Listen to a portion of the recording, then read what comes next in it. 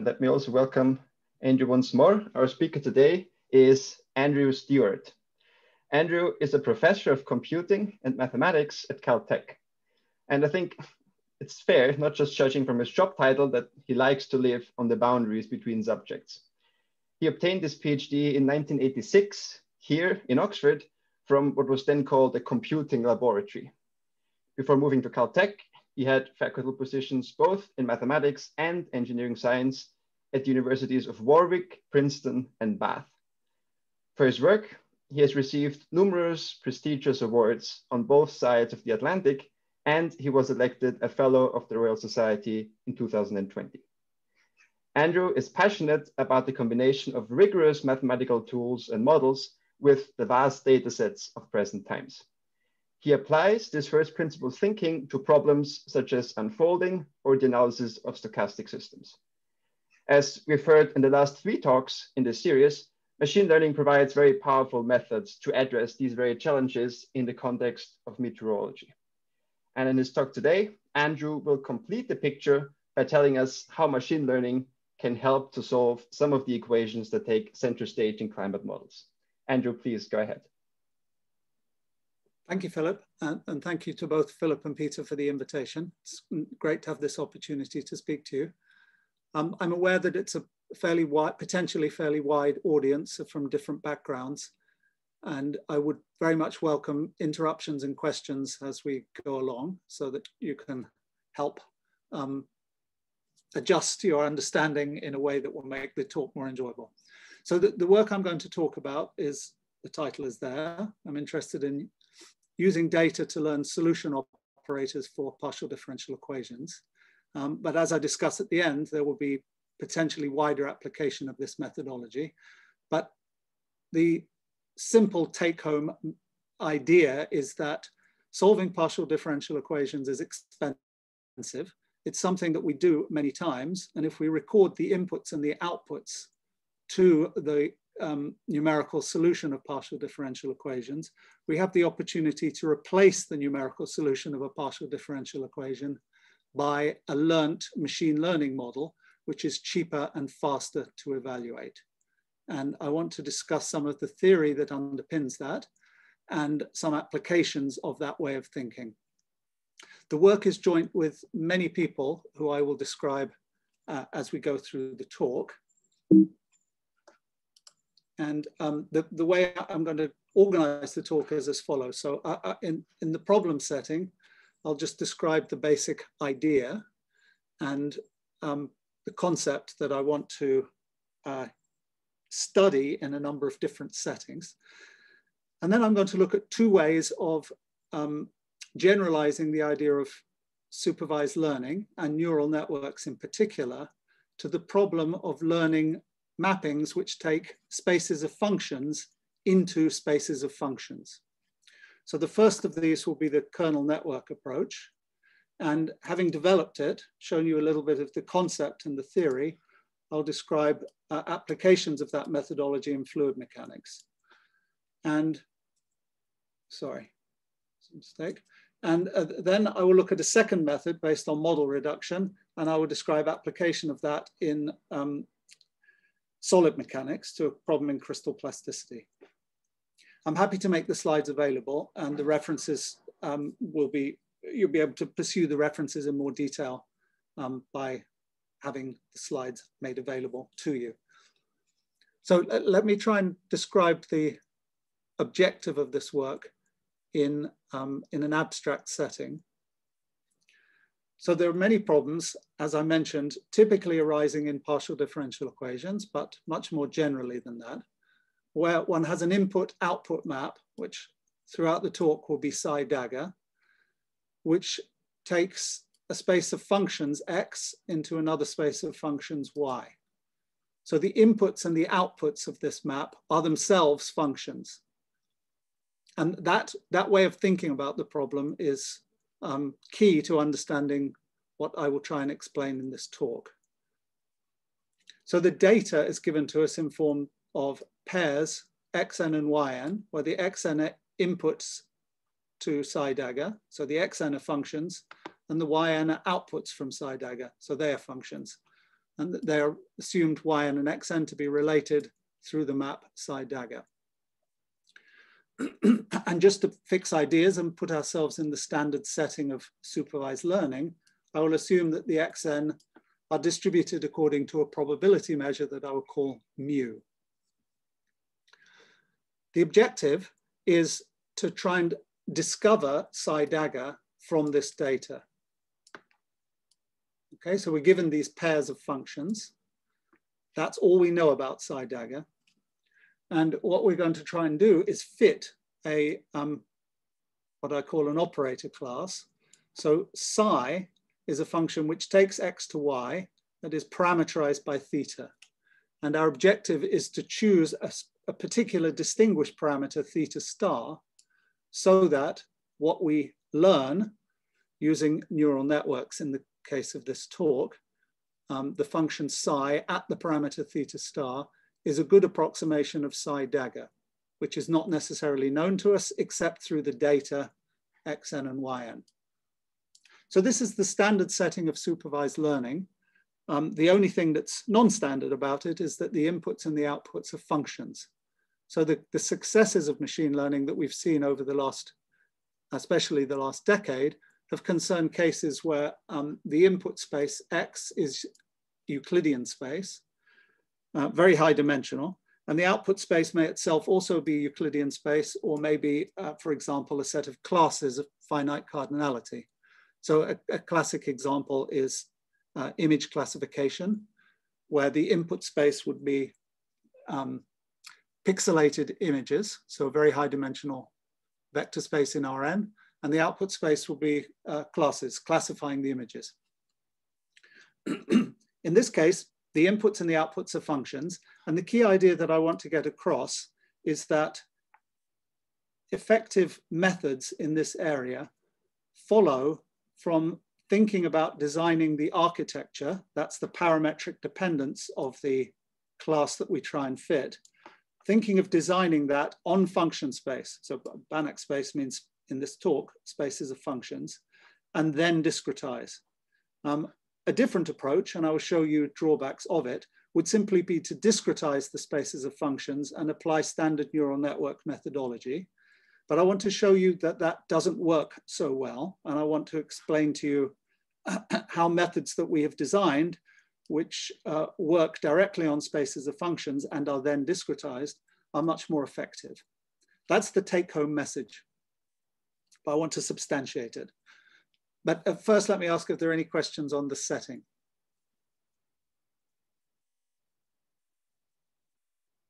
Okay, so let me start with an example. I'm going to look at um, a partial differential equation from the study of porous medium flow.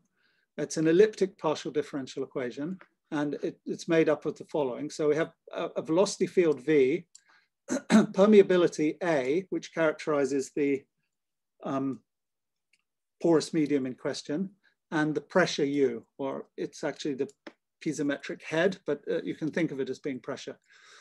then the equations of interest are mass conservation, which states the divergence of velocity is given by the sources and the sinks. Uh, the Darcy closure, which is a constitutive model relevant for porous medium flow, that says that the velocity field is proportional to the gradient of the pressure and the constant of proportionality is a permeability A.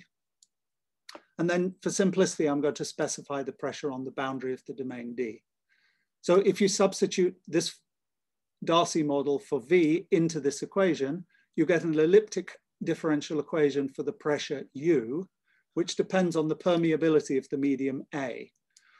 and what I'm going to look at is trying to, to learn the mapping, which takes the permeability, which is a function, that's a field over the domain D, and maps it into the pressure, which is also a function, a field over the domain D.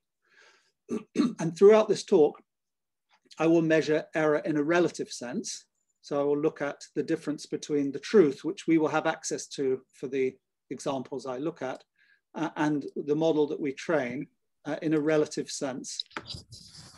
Excuse me, do we assume uniqueness of uh, mapping from A to U? thank you. That really good question. Um, throughout this talk, yes, and this equation has a uniqueness property um, for provided A has sufficient regularity, it needs to be an L infinity function, then there will be a unique solution to this problem. Um, th there are interesting questions where one has multiple solutions, and that, that's something that we haven't really tackled in detail, but it is a very natural future direction for this, this methodology. Thank you. Okay, um, what I'm going to show you here is what happens if you apply the what I'll call naive approach, which is to discretize everything in sight. So you have high dimensional input and output spaces, construct an architecture, and then look at how that architecture performs at different levels of resolution. So what we have here is a measure of error against resolution, error on the vertical axis um, and resolution on the horizontal axis.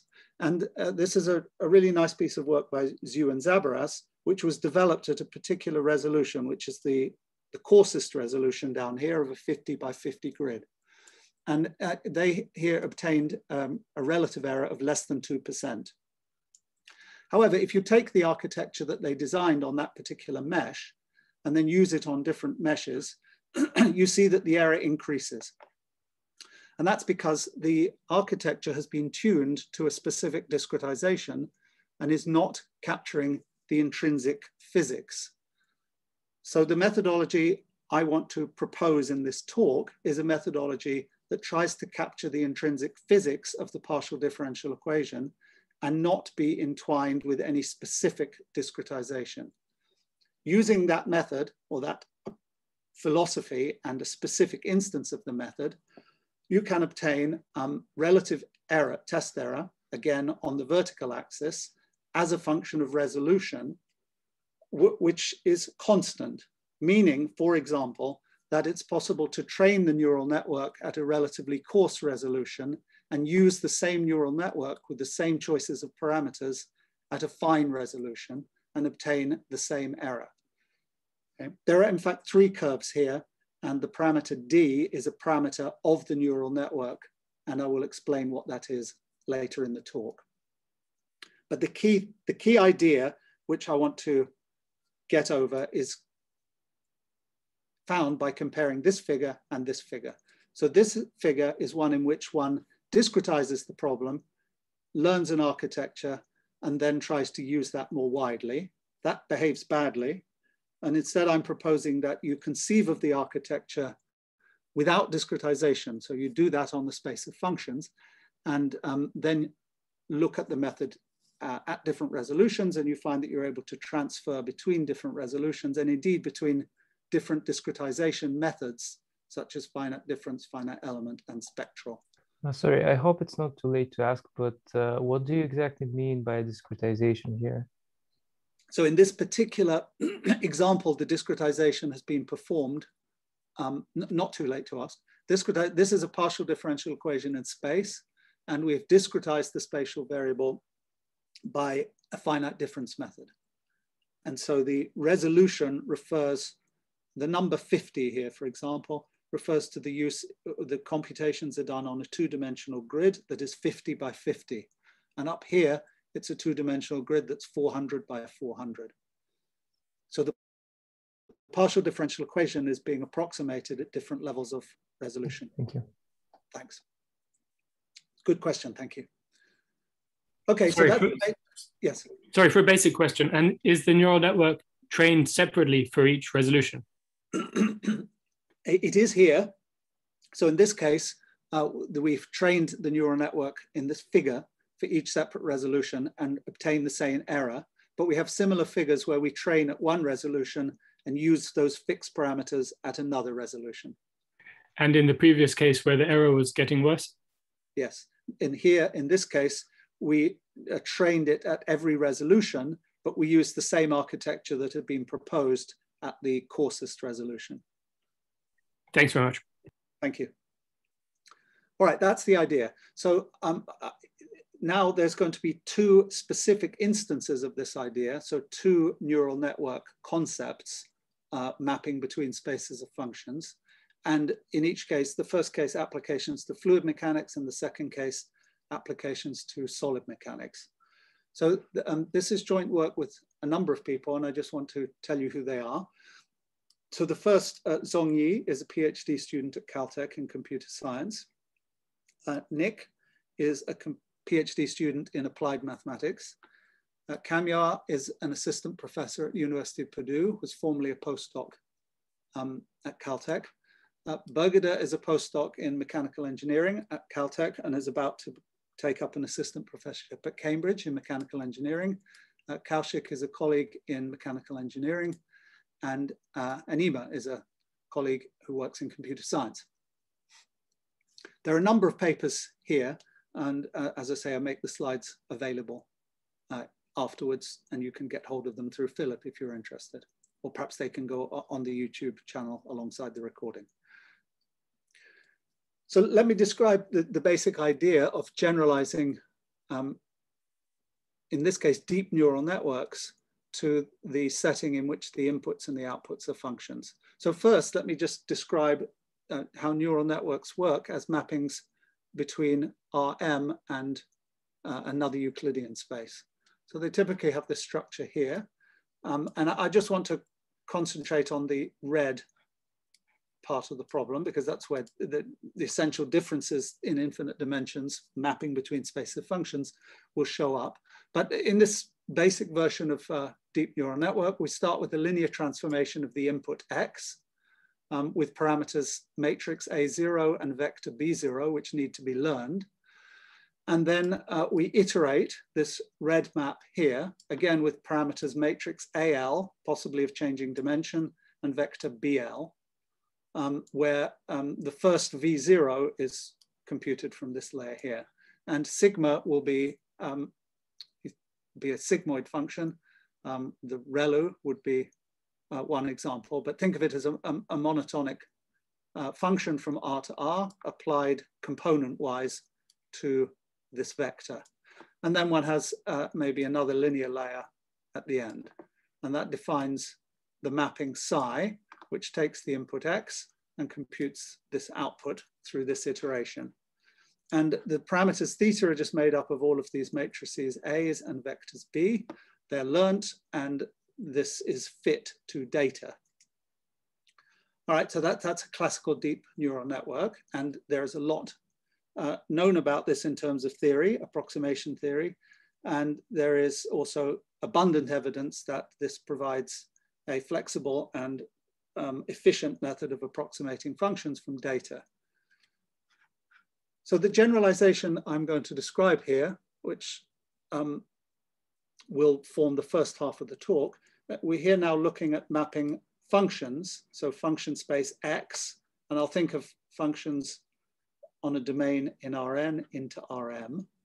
So every input will be such a function, and the output will be a function also defined on Rn, mapping into Rr. Um, it's not necessary that the, the domain D is the same for the input and output, but I will, in this case, assume that it is. The, the key difference of the architectures that I'm going to work with in this half of the talk is described by the red line. The, the, um, the, the inputs and the, the first layer and the last layer in this particular example are, are just linear and applied pointwise.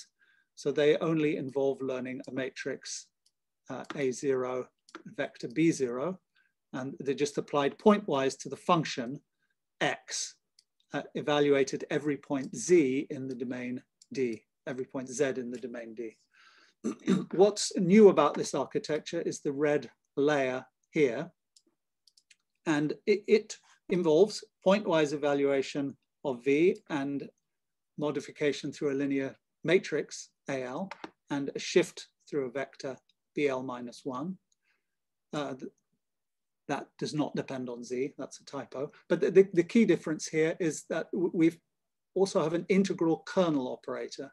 So this is a non-local operator that maps uh, the, the, the um, solution at the L minus one layer. So this is a function VL minus one. Sorry, difficulty highlighting. Um, let me just look where my cursor is. the VL minus one is the function at the L minus one step. We apply a kernel to it and integrate. And now the parameters of this neural network that need to be learned are the A's and the B's as before. As I said, that should not be a B of Z. That's just a, a vector B. Um, but we also need to learn kernel functions. And we, so that's these KLs. And uh, we parameterize these too and learn them. So this uh, describes an architecture which is made up of both pointwise and non-local operators. And uh, the key thing to appreciate about it, there's, a, uh, there's a lot of theory being developed right now in this area. But let me just tell you that there, there are universal approximation theorems for this architecture as a mapping between spaces of functions. And there are also other methodologies, um, such as DeepONet, which is being developed at, uh, by Karniadakis and co-workers at Brown University. And this theory about that, um, based on this paper of Chen and Chen, which was the first I'm aware of, to look at approximating uh, mappings between spaces of functions. There's also work that I don't refer to here, coming out of ETH by Sid Mishra and Samuel Lanthaler, which uh, looks at convergence proofs for um, architectures that map between spaces of functions.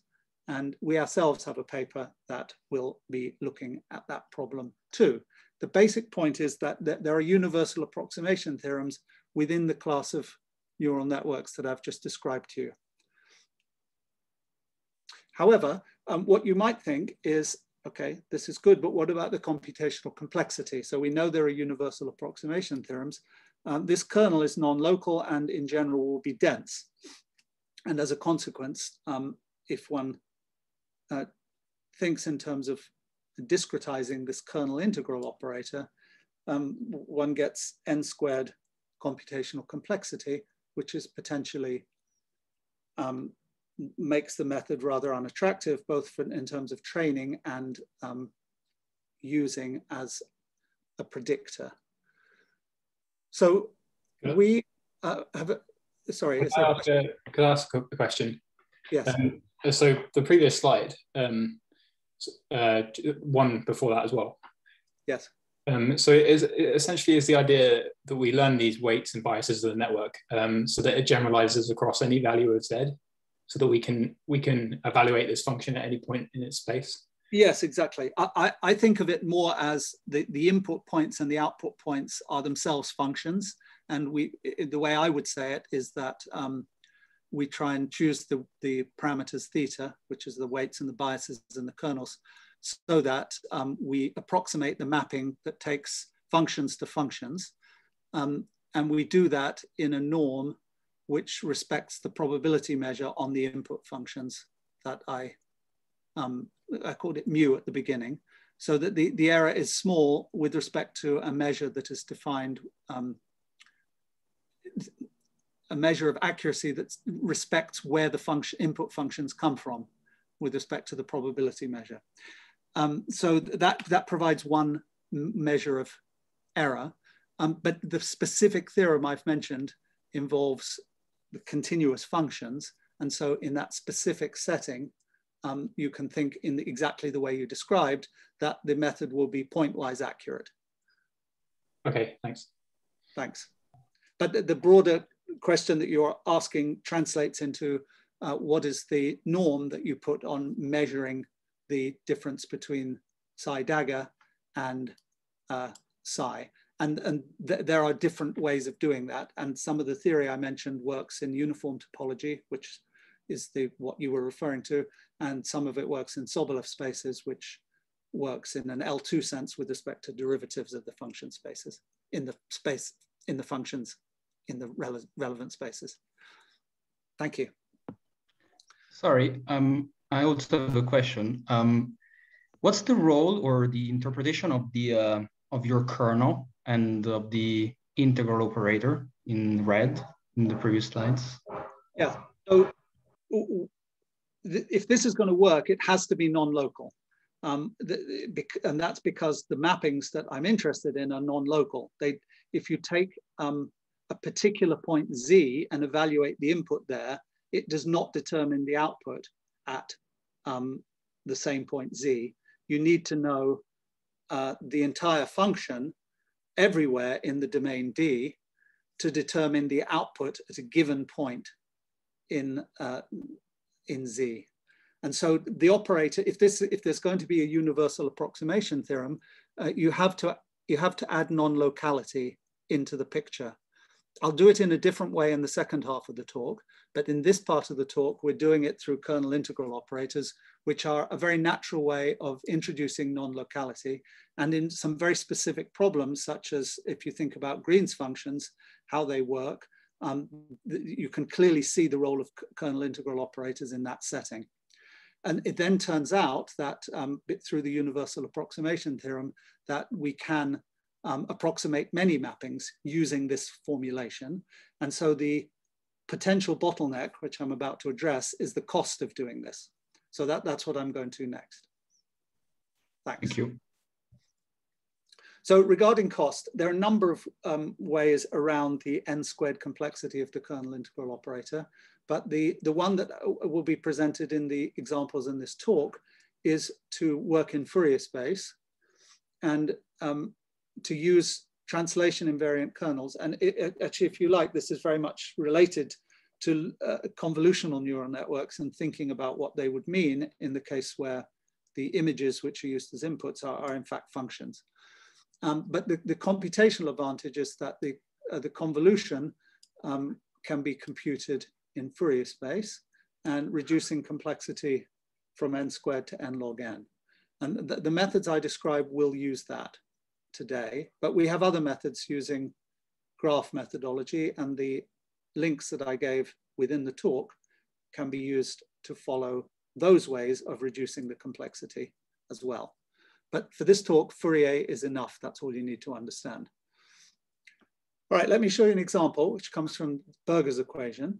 So this is a time-dependent partial differential equation that has um, two characteristics. You have dissipation, which is preferentially stronger at large, uh, at, at, short length scales. And you have an energy conserving nonlinearity, which in Fourier space transfers energy from low to high wave numbers. Um, what we're interested in here is the solution operator that maps the initial condition to the solution at time one. So we're trying to find a function that replaces integrating the equation. It will be trained by a numerical, by data obtained from a numerical method. But once you have it, you, you don't have to use the numerical method anymore. You just evaluate psi, our approximation to psi dagger, to replace the solution of the equation. So this is just, for those of you not familiar with the equation, this is typical uh, behavior of the equation. Um, this should not be A, that should be U0. And this U should be the output at time one. So on the left is an initial condition, on the right is the solution at time one. So this equation forms a shock, uh, which is, has a certain thickness related to the parameter nu, which is the viscosity appearing in the second derivative. So um, there are lots of different methods compared on here. Um, I'm comparing, as I did earlier, the predictive error on the vertical axis against the resolution of the computation. That's the number of points used to discretize space. And I'm looking at the, um, let's just, I'm, let's just pick two of these methods. Um, the, the lowest one is the Fourier version of the neural networks that I described. And what you see here is a fully connected neural network. So this will be a standard. This is what you would get if you discretize and apply state-of-the-art neural networks on each finite dimensional space. So key point here in comparing the blue curve and the curve here is that the method we describe um, is invariant to resolution because we are approximating something that is intrinsic to the physics of the equation. And secondly, the, the, values of the error at all resolutions are the smallest amongst all of these methods, and in particular in comparison with the standard um, fully connected neural network. So uh, something that if you come from numerical analysis, sometimes th these, these curves are a bit confusing because standard in the standard setting, numerical analysts think of error improving with resolution. But remember here, there's a finite amount of data and um, what's limiting the accuracy here is the finite amount of data. So what you're seeing in this method that we've learned here is that at every level of resolution, we squeeze the um, maximum out of the data available and get the error, in this case, down to um, about 2%. Okay. Any questions on that? Can I ask a question about training? Yes. Is it so this non-local term necessitates any special thing to ensure convergence or is just vanilla SGD enough to um, still train these networks? That's a really good question. So in general, I like to say that I, I try to separate the training from um, the things I'm concentrating on in this talk, which are the approximation capabilities and what you can do having trained. Um, but it, it is uh, fairly standard training, but as you doubtless know, um, it very much depends on who is doing it. That you, there are many parameters to be set when you use off-the-shelf software to train neural networks, which is what we're doing here. Um, but th there is definitely a degree of the expertise of the person doing the training that makes a difference. Um, I wish neural networks weren't like that, and it is arguably one of the drawbacks. Um, but it is, it's a, it's a standard framework, and Zongyi, who is primarily responsible for much of the numerics you'll see in this half of the talk, is, is really excellent at getting the most out of um, standard methodology. So it's, it's using, yes, sorry please.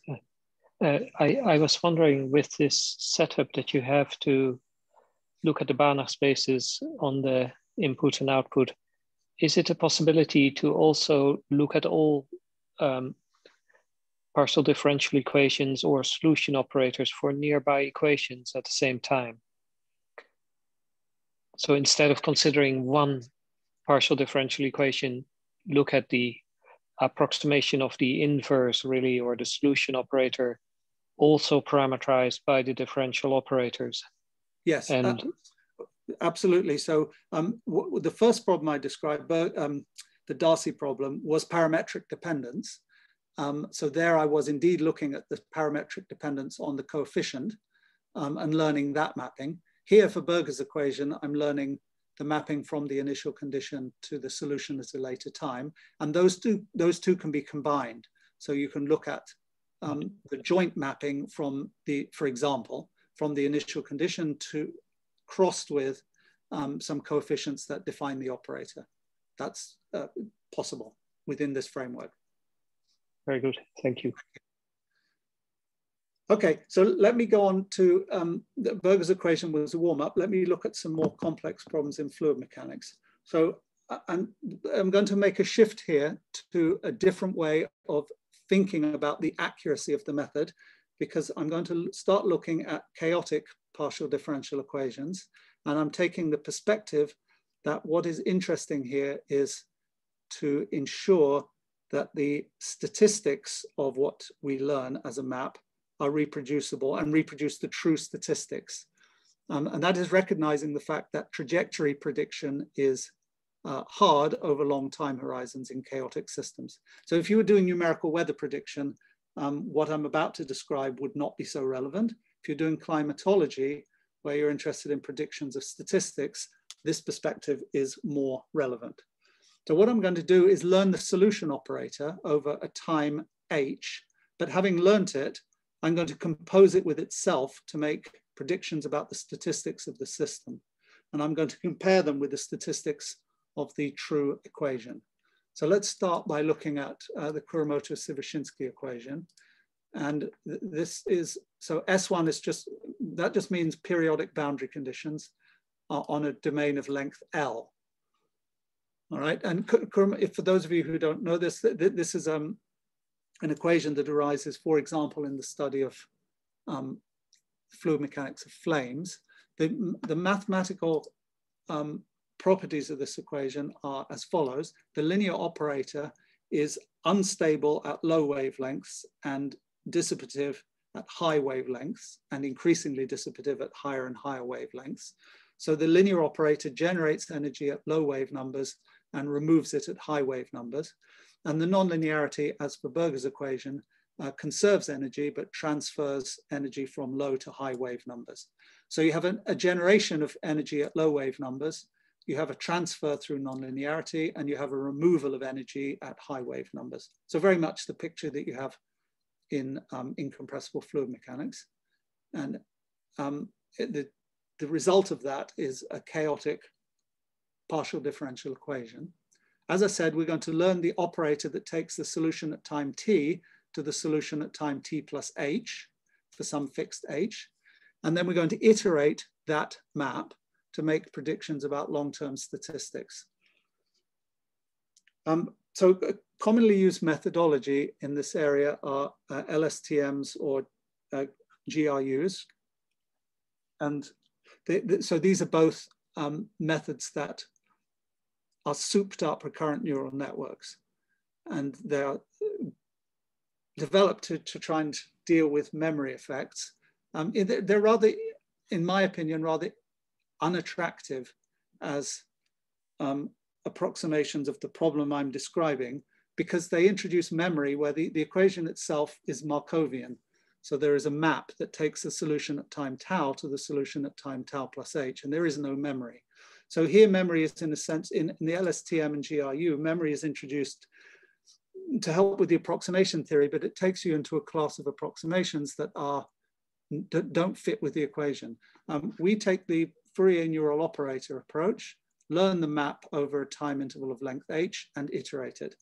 Um, what you see here, the, the, the, solution here is being plotted as a function of space along the horizontal axis and time along the vertical axis. And you see the error of um, LSTM, GRU, and our method. Black is small, and what you're seeing in terms of trajectory here is simply that we are able to approximate the trajectory accurately, accurately for a longer time.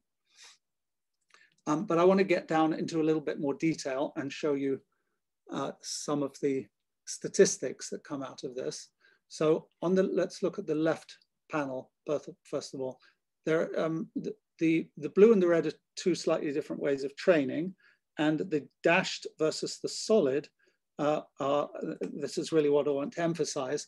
The dashed is learning the mapping over a time step h and looking at the error only on a time interval of length h. And so what you see there is that as a function of h, uh, the error grows and, and, very small at small h and grows uh, as h grows. That reflects the fact that it's harder to learn the map over longer time intervals because of the chaotic response of the system. Um, having learned the map over any time interval h, we then um, compose the map with itself to make a prediction over a macroscopic time t, and we then look at the error in red or blue, slightly different uh, measures of error, but the, the key point is the difference between the dashed and the solid when we compose the time h map with itself and make a prediction over a macroscopic time, we get the errors that you see with the solid curves, which are relative error of less than 1%. So what this shows, the left-hand pan panel, is that the idea of learning this, uh, we're really learning the um, semi-group generated by this equation over a small time interval, and we're then iterating that to make predictions over longer time intervals and we're showing that that works. All right, that's the left-hand panel. The middle panel is now comparing the ability to predict the spectrum um, with our method and with the LSTM and GRU. And the, the takeaway is that, that, they all do pretty well, but when you start getting down to high wave numbers, uh, our method is fitting the spectrum better than the LSTM and GRU. Um, this figure on the right is looking at the spatial correlation and um, well, firstly, let me say that that's the very long scale correlations in this problem, and it's very hard to get them. And none of the methods really nail the correlations uh, at uh, long leg scales. That's in the middle here. Um, but they do well um, over on the left. And, and again, the, our Fourier neural, Fourier neural operator approach beats LSTM and the GRU. So the simple take home mes message of this is that learning the solution operator on short intervals and then composing it to get predictions over long intervals works well, um, both in terms of measuring the trajectory error at a macroscopic time and in terms of looking at the statistics of the resulting dynamical system. Okay, any questions on that? Just a quick question. What's that gradient in the, uh, what's the spectral gradient in the Fourier spectrum? You mean what's the slope? Yeah, is that minus four or? I, I, should know and I don't. I'm sorry. Um, oh, no problem. next time I know, give the talk, I'll know the answer to that. Um, but but there, the truth is in here. That's this line here. So um, the truth as in computed by a very high resolution um, spectral method in space, and we use uh, exponential time differencing, which uses the exact solution of the linear operator. So I, I think the truth is very accurate. I, I'll find out the answer, but I'm sorry I don't know it. Thanks. Thank you. All right, now I'm going to look at very much the same setting that we had for KS equation for the uh, for Kolmogorov flows. So these are um, 2D incompressible Navier-Stokes equation on a torus, so periodic in space, um, with particular uh, Kolmogorov flow, for those of you that haven't seen it, refer to specific forcings um, made up of um, small numbers of Fourier modes or eigenfunctions of the Stokes operator, if you like. Um, I'm going to do exactly the same as we did for the KS Kuramoto-Sivashinsky. I'm going to learn the solution operator and then compose it with itself. The learned operator, I'm going to compose it with itself to make predictions at macroscopic times and to, um, to look at statistics. Uh, we use vorticity stream function formulation. There's a lot of information in here in a table, which I won't go through in detail, but uh, you can train on the stream function, the velocity, or the vorticity, and we have tried all three. And you can also use different norms to measure the error in the stream function, the velocity, or the vorticity. And we have looked at different norms, the L, the L2 norm, H1 norm, and H2 norm. So we have a picture of the effect of using different um, variables to represent this flow, stream function, velocity or vorticity, and of the effect of using different error measures to do the training and the testing. Um, we have tested Reynolds numbers of around 500, but the results are not fully complete uh, for what I want to show in this talk. So everything here is with a Reynolds number of around 40. And, and these are samples from the flow, so you have some idea of the complexity. It's relatively low dimensional, but chaotic. And that, just to give you a little bit more insight into the flow, um, here we have projected the flow. Uh, we do a PCA on the output and project onto the two energy dominant modes. Uh, and what you see is that um, you have approximately a ring on which the solution likes to live, but there's a lot of activity inside the, inside the ring. And th th these are color coded by the amount of dissipation present in the solution at any given time. So that's the uh, H1 norm squared. And so, so what you see is that the higher dissipation is associated with leaving this, this ring. And uh, so a typical solution on the ring here in space on the left and a typical solution inside the ring at, at the right. All right, so it's chaotic, but relatively low dimensional. I think that's the take home message from this. And um, here we've compared, our method here is called MNO, that's the Fourier neural operator, um, but then composed in a Markovian way to make macroscopic predictions. And we've trained that using both H0, which is the L2 norm, and H2, which is the, uh, um, the, the L2 norm of the second derivatives. Um, basically, the, and, and we're comparing this with UNet, which is a standard um, method used in this field. The, the, key point here is that in terms of matching the spectrum, um, we get, by using our methodology with an uh, H2, that's matching the second derivatives, we, we get a um, almost exact fit with the true uh, minus five thirds spectrum. You can also look at the um, invariant measure um, projected onto dissipation. That's the squared norm of the gradient of the velocity field. And again, you, are seeing that um, our methodology is producing a much better fit than the uh, UNet methodology. The green is the truth, ours is the dotted orange. And here is a study of the um, accuracy of the method as a function of the derivatives used in the fitting. All right, there's a lot of numbers here, but I don't want to show you those. Um, I, I, want to finish by just telling you that there's a, the slides are available if you want to look at these numbers. They, they get into details about how the different ways of doing the training affect the accuracy. So just, we, we can train on stream function, velocity, and, and vorticity, any of those three. And we can also apply an L2 norm, an H1 norm, or an H2 norm. And the, the, the, these have implications for the error which are summarized in this table if you're interested. Um, I want to describe a different method and um, th this is work with, uh, I've also already introduced uh, Kaushik and Nick. Um, this is also work with Bamdad, who is a, currently a postdoc at Caltech and soon to be an assistant professor at the University of Washington in applied mathematics. So this is a different idea and I just want to describe it to you very quickly. It actually underlies the very first example I did for porous medium flow, um, we're trying to find a map on the left here, psi dagger, which takes an input function space x into an output function space y. The basic method here is to learn what's called an autoencoder, um, which is an approximate factorization of the identity uh, in the input and the output space using the data. So G composed with F is approximately the identity. G composed in, in both the input and the output spaces. And uh, in fact, we will use PCA, so that principal components analysis, to, to find that autoencoder. We tried other things, but that was the best. And we also have a theory for PCA, which I'll describe. The point is, these approximate factorizations of the identity on, an, on the function space X uh, introduce a latent space, which is finite dimensional, in both the input space and the output space.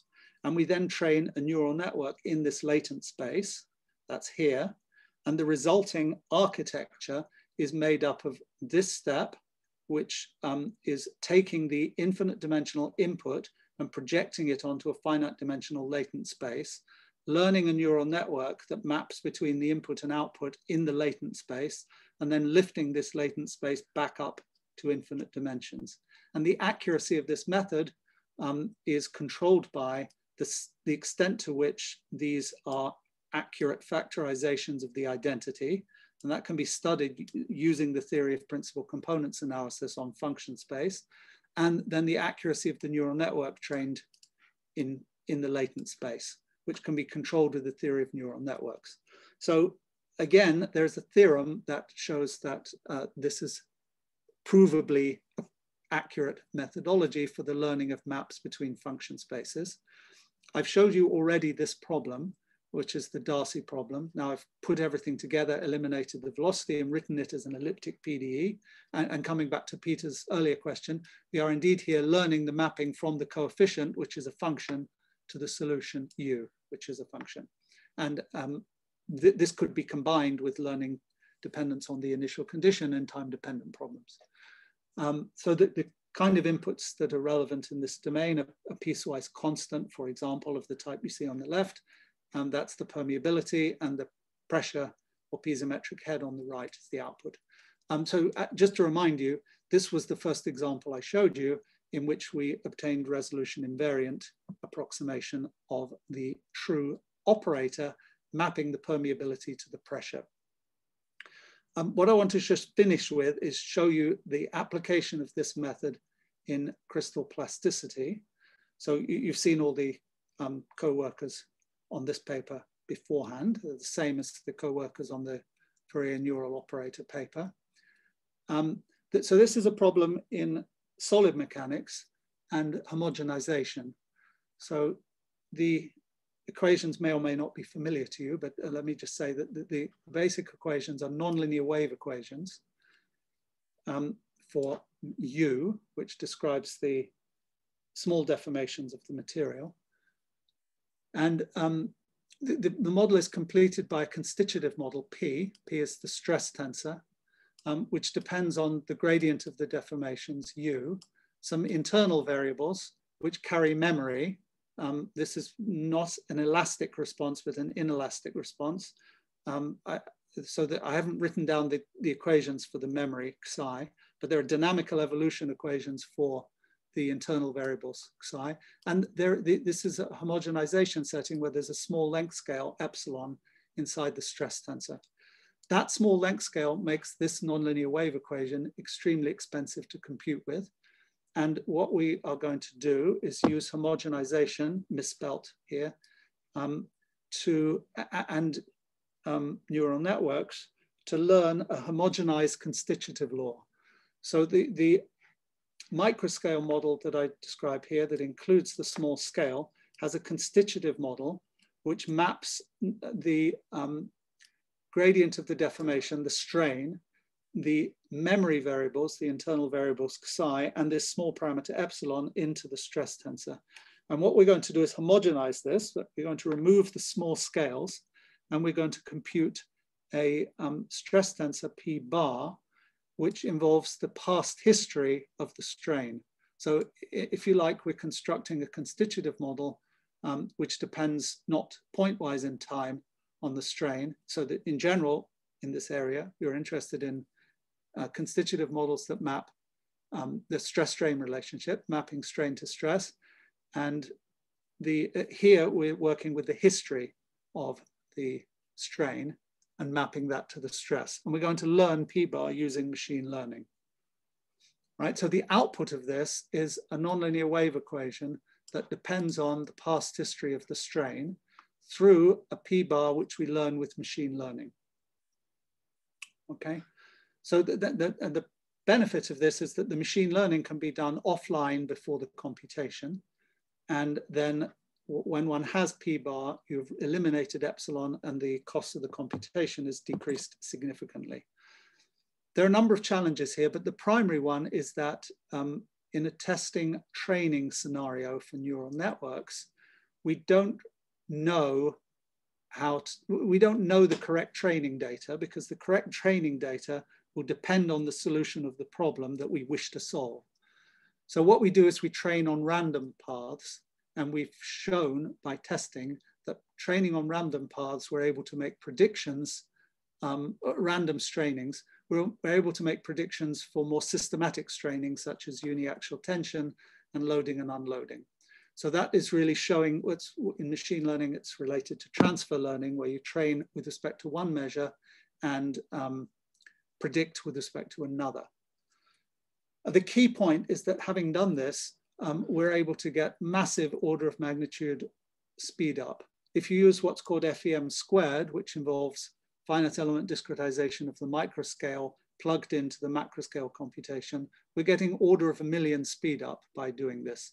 And even over Taylor averaging, which is a um, localizing approximation that's widely used in this field to speed things up, we are getting still three orders of a magnitude speed up in this computation. So this is computation of a blunt impact on a piece of um, metal. All right, um, I've, I've uh, used up my time. I, I, just wanted to say that um, I don't need to convince many of you, I'm sure, that neural networks have an enormous amount of empirical success, um, but have typically been used for regression problems on Euclidean spaces and classification problems. Um, what we've done is taken the idea and replaced the input and output spaces by spaces of functions. And I believe that will be widely useful in many areas of science and engineering. The key idea is to conceive of the architecture and then discretize. There are generalizations. Here I looked at neural networks, but there are other methods, the random features method, uh, and I would highlight this work with Nick Nelsen, which shows that similar ideas, but with other architecture um, there's a lot to be done in this area. So we've looked at PDEs, uh, but you can imagine problems where you don't have a model, so you're just given data. So there are many problems in robotics, for example, which are generating large amounts of data for which the models are very incomplete.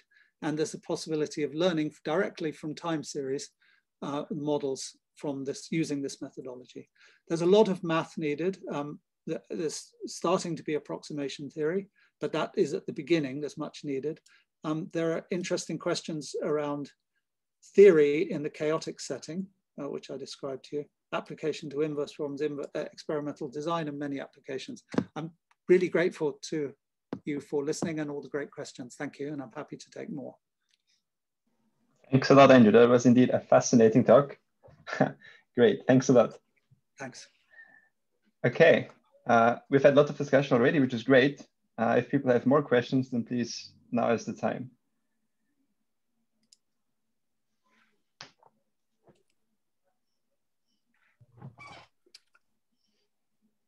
Hello. Can I ask a question, please, Andrew? Yes, hi, of course. Andre here. Oh, hi, Andre. Nice of you to come. um, so concerning this uh, non-local kernel that you had uh, uh, yes. in, in the beginning, so how much do you need to know about the Green's function of, of, of the linear operator or of a closed by linearized operator? Yeah, interestingly, nothing. So we, um, we were motivated to use um, kernels and indeed uh, Kamyar was what, one of the first person to do this um, by looking at problems with Green's functions where we know what the kernel is and we ask the question, can we learn it? Um, th because that's a, a, a, natural place to start to be non-local. But um, what's remarkable about this architecture is that um, it, it, it's a universal approximator um, between classes of functions without having to put any structure into the kernel. So it's simply the non-locality that comes from the kernel, and then the iteration and the application of the of sigma enables you to go from the, the, the kind of universal approximation theorems of the standard neural network in finite dimensions to very similar results in this infinite dimensional setting. It's, it's kind of surprising. Yeah. If you'd asked yes. me a year ago, I would not have thought that was the case, but it is. Yes. Well, I, I suppose also fortunate because if you uh, move to non nonlinear problems.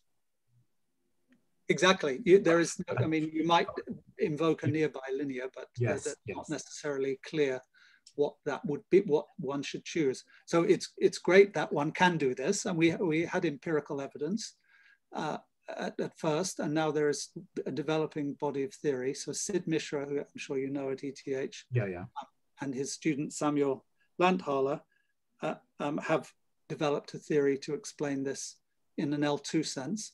And Nick Kovachki, who is a PhD student here, um, is developing a more general theory, which includes um, working in spaces of continuous functions and other Sobolev spaces. Thank you, Andrew. Very nice. Thanks. Okay, maybe I can I can briefly jump in here. Is it so? You said it's not necessary to put any structure. Is it helpful to put some structure if you have additional information about your problem, or is that not helping in terms of efficiency of the training? Yes, it, it is helpful. So um, hmm. firstly, uh, the, the working in Fourier space, which is what we did in all of the examples I showed in the first half of this talk, um, it really helps. It reduces the number of parameters you need to make an effective approximation. So it's parsimonious. And it's also um, fast because you get the hmm. Fourier transform advantage. Um, so definitely, and, and, by the way, the, the, the theory of um, Mishra and Lanthaler applies to this specific architecture, the Fourier. So definitely that is the case. Um, empirically, um, we've also looked at, for example, including in the kernel dependence on the input function. And uh, I wouldn't say we have systematic understanding of that. No, no understanding from a theoretical point of view, but some evidence that, for example, letting the kernel depend on the input is helpful empirically is also present. But the um, other than that, it's you know there's a lot that can be done with a fairly standard just viewing KL as a function yeah. and learning in parameterizing it as a neural network in a standard way. And then the fact that it's then uh, lifted up to become an operator um, gives it this approximation property on spaces of functions. I see. Very nice. Thanks a lot. Thanks. Okay, Matthew, please go ahead. Uh, thank you. That was a wonderful talk, Andrew. Um, my question is about so your functional based approach seems to work really well in the examples you show do you have a recipe or a things you think people should look for in when to use the functional approach versus the sort of more classical point-wise neural network approach? yeah, that's a really good question. So I think uh, uh, everyone to some extent gets driven by their methodology towards examples where it works and the wh why is it working here so well with respect to mesh invariance? It's really because we're using computational models that even when they're discretized are faithful uh, representations of the limiting infinite dimensional object. Um, so in that setting, everything I've described here is highly relevant. And in particular, I think the fact that you can transfer between training on relatively coarse discretizations and then use it at finer discretizations and vice versa is very useful in that setting. However, um, there are many problems where we don't resolve the physics. So the climate modeling is a great example. Um, the, the setting in uh, general circulation models is such that you're using a grid of tens of kilometers that just doesn't resolve physics of clouds, for example. And so you, the, the idea of being close to the infinite dimensional limit in the computational model just doesn't apply. So um, in that setting, I think you, you need a, a, very different perspective, which is more about learning model error. So if you, if you have the idea of a continuum model, which you don't have access to, and you have a, a coarse, uh, coarse model, which really is not, it, it, at certain scales, it's not accurate. So there's a, a significant model error. Then uh, I think the, the correct philosophical approach is to focus on learning the model error um, to the discrepancy between the model that you're able to compute with and the, the, the resolved physics, which is too expensive to compute with. So I, I have some uh, work in that direction for ordinary differential equations. And I have some work with a colleague in climate modeling um, in a very specific context of that type. But I think that that's the general message. For problems where the physics is not resolved by the model, I think using machine learning to learn about model error is the way to go. And that's not something I described in this talk. Wonderful. Thank you very much. Thanks. Thanks indeed. Ben.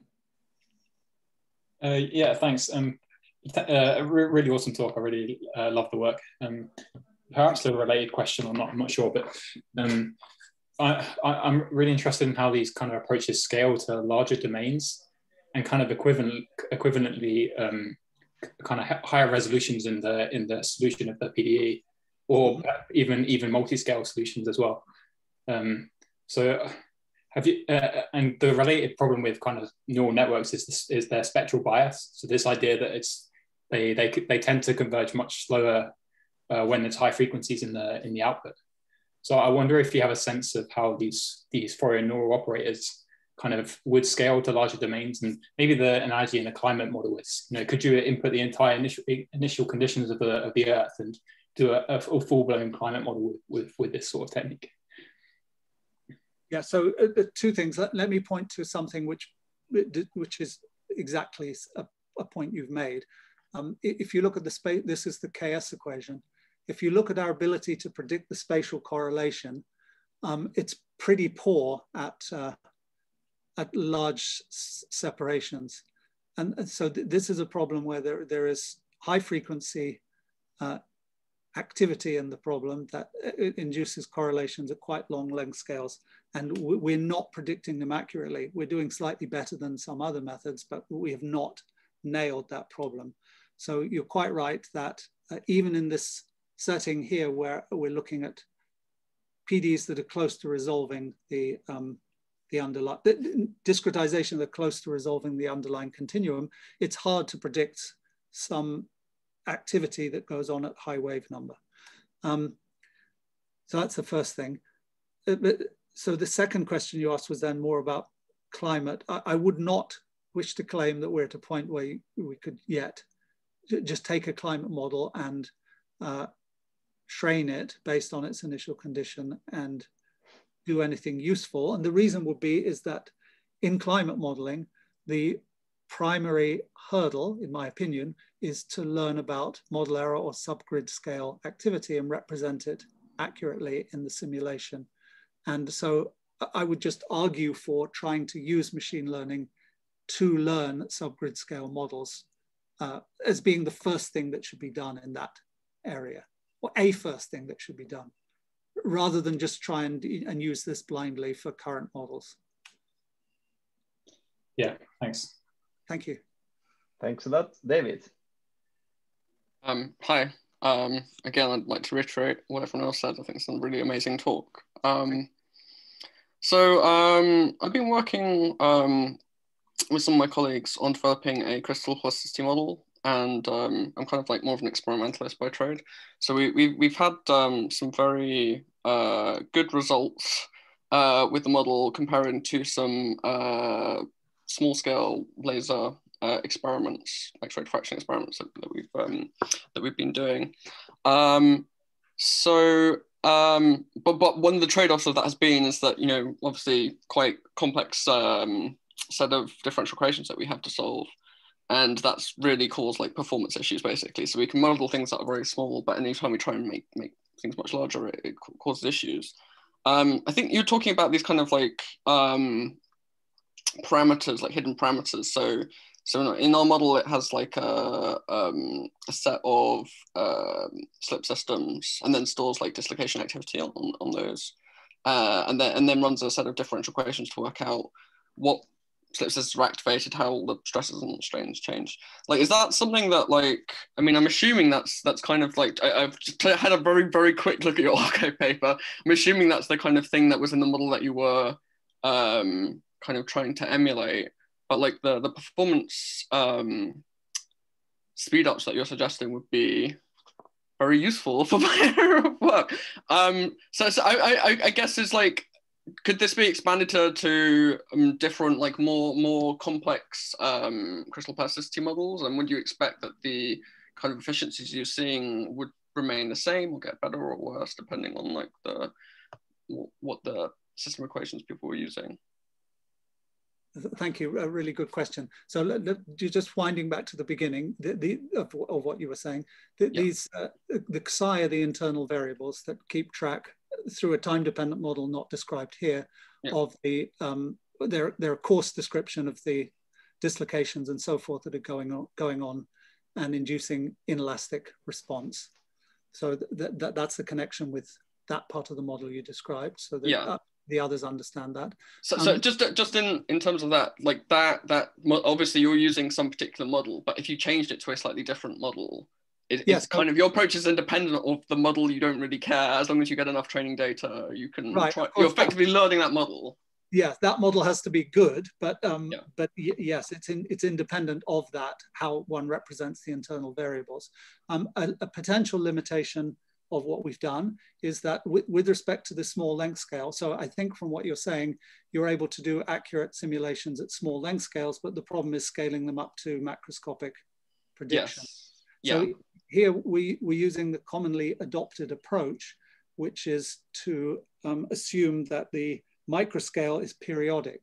So, and that is very much um, a limitation of what we're doing. But I, my understanding, I'm not an expert in this area, but my understanding is that that is a commonly used assumption for the microscale.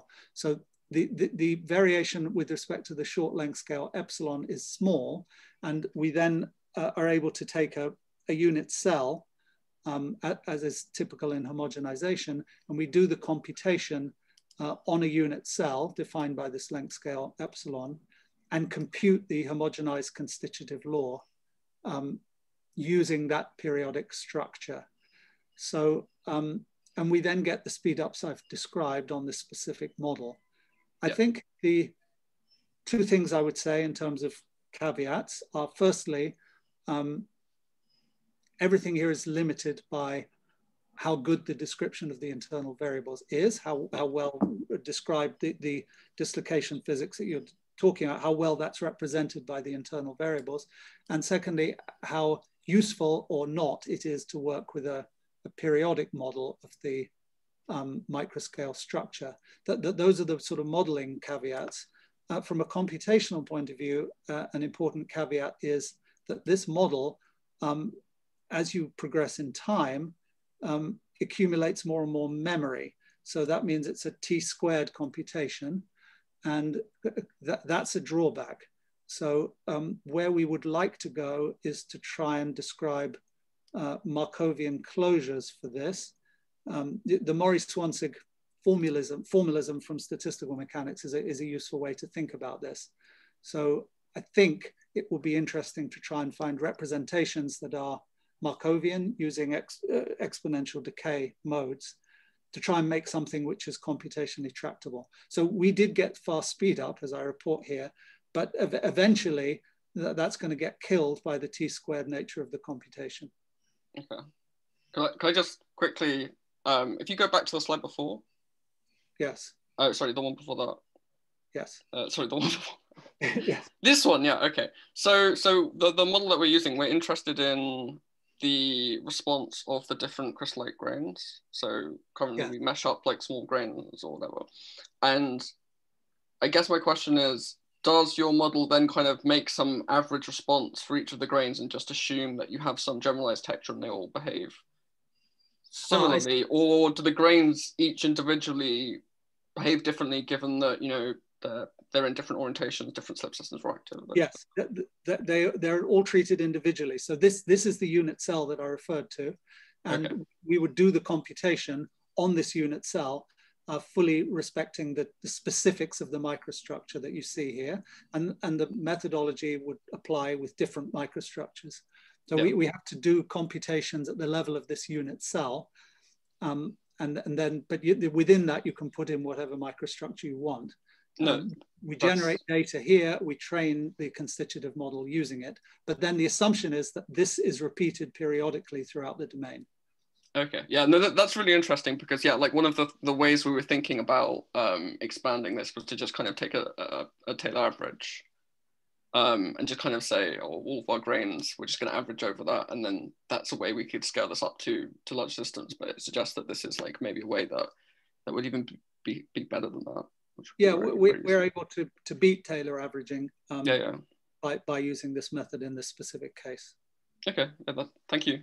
Uh, so I, I, don't want to oversell anything, and so I'm very careful of having given caveats both in the climate case and in this case. So I, I think this field is very exciting. There are lots of possibilities for using machine learning, and um, I hope that this talk has given some indication of them. But I, am just be careful of all the caveats. I think that's an important thing. Okay, great. So one last question, Duncan, please. Brilliant. Thank you very much, Andrew. I, I don't want to take too much of your time, but I was just digesting your answer to Matt's question about the use uh, and your answer, particularly with respect to modeling GCMs, where, as you as you rightly point out, we don't resolve the key key processes. Um, is there any opportunity or any way of combining this functional approximation with the pointwise? So I'm envisaging perhaps having targeted high resolution simulations that might inform the, the function space combined with coarse simulations that we can run for a long time? Or yes, so uh, thank you. Um, that, so that is a, a, line of work that I'm engaged in with Tapio Schneider. I haven't described any of that work, but in, in that work, we're trying to learn uh, models for clouds and do so on the basis of data, which is both um, large scale satellite data and um, local computations that are done using um, models of turbulence. So that, that's our goal. Um, we have not got there yet. Um, and so far we have um, mainly looked at the effect of using satellite data to learn about cloud models with relatively small numbers of parameters. But where we're going is to look at non-parametric models of clouds and uh, inform them using machine learning of the type I describe here, by, by small scale uh, data as well as satellite data. That, that's where we're going. So that's a wish. Right. And, and, that, and that targeting directly this structural uncertainty, this, this unresolved Yes, exactly. To, to, to uh, what I've learned from Tapio is that uh, poor modeling of clouds is a primary component yeah. in the uncertainty that, that, underlies all of the different GCM models we see. So uh, the objective is to try and get better cloud models and uh, the, the one dimensional in the vertical that describe physics of clouds, learn about them from data and couple them into GCM. Great. Thank you very much. Thank you. Okay, fantastic. Well, thanks a lot, Andrew. That was a great end to this seminar series this term. Thanks very Thank much you. indeed. So that's it uh, for this term. I hope you enjoyed it and hope to see many of you again in Michaelmas. Cheers.